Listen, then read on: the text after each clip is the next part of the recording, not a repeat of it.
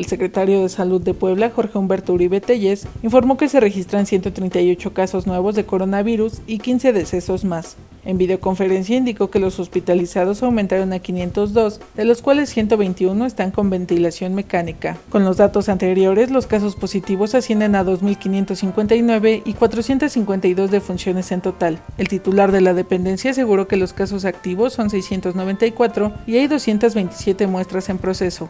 Por su parte, el secretario de Gobernación, David Méndez Márquez, reportó la muerte de tres hombres más en el extranjero.